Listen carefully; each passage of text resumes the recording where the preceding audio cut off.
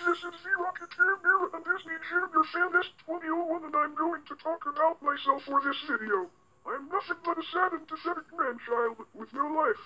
I tell people that I'm sad over things which can get annoying fast. I also tell people to give me them Purina Cheer Up gift, which is also annoying. I claim I'm 19 years old, but I act like a 3-year-old. I also read in cats, making me immature. Alright, that's all for today. Bye guys.